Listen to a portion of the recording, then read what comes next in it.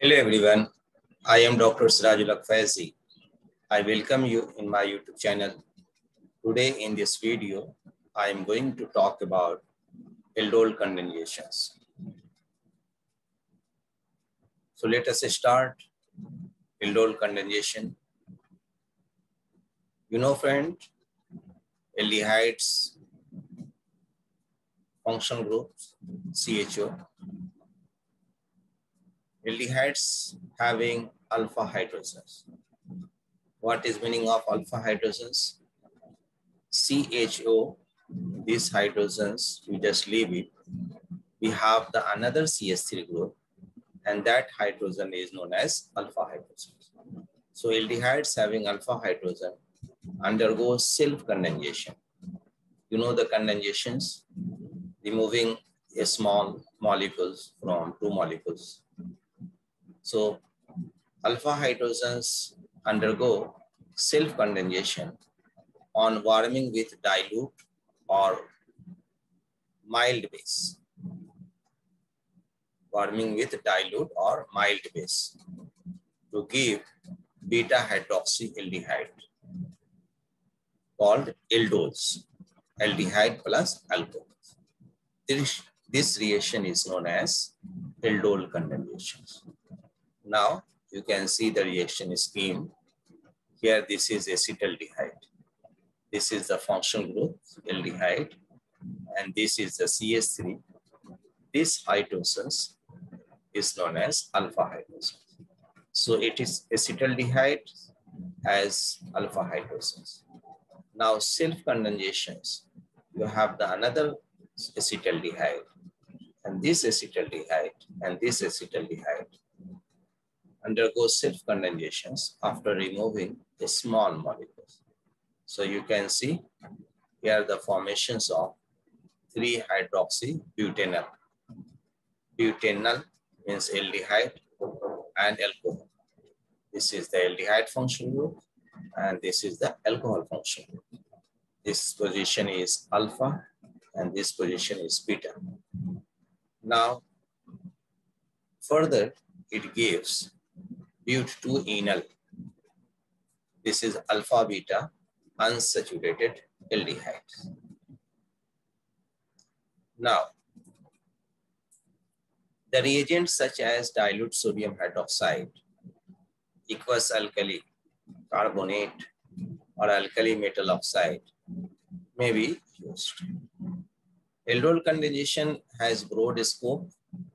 It can occur between two identical or different aldehyde, which contains alpha hydrogens, two identical or different ketones, which contains alpha hydrogens, and aldehyde and a ketone.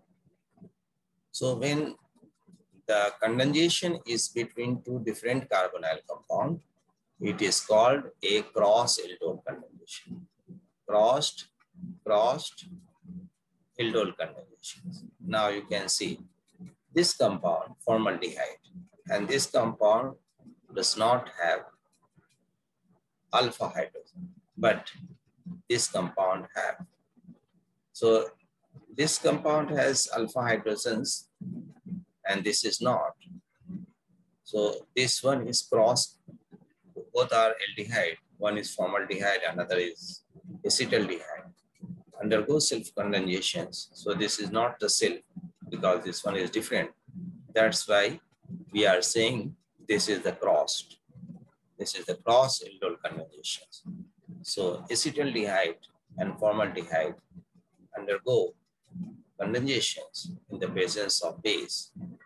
It gives alpha beta unsaturated aldehyde. Now, mechanisms. You can see in step one, the hydroxide ion, which is coming from the base. Hydroxide ion deprotonates the aldehyde reversely. You can see this is the hydroxide and this is the hydrogens. We trap these hydrogens and forming this CH2 CHO and this is the bond. In step two, enolate ion 1 adds to the unreacted aldehyde. This is the another molecule. So this carbanion attack on this carbon and then carbon oxygen double bond will shift on oxygens and it is in equilibrium. You can see the second, this is CH3CH O minus CH2 CHO. And then in a step three, alkoxide ion 2 is protonated by water. This oxygen is protonated by water and formation of hydroxide and formation of this compound, which is 3. The next, step 4, aldol 3 is an enolizable aldehyde. A small amount of it is converted to corresponding enolate ion by the hydroxide ion. Now, you can see this OH minus trap these hydrogens and forming this anion. And enolate ion 4 loses the hydroxide ion. So this will shift here and this lose hydroxide ion forming alpha beta unsaturated aldehyde. So my friends, I hope this video will be beneficial for you. If you like this video, then subscribe my channel and thanks for watching.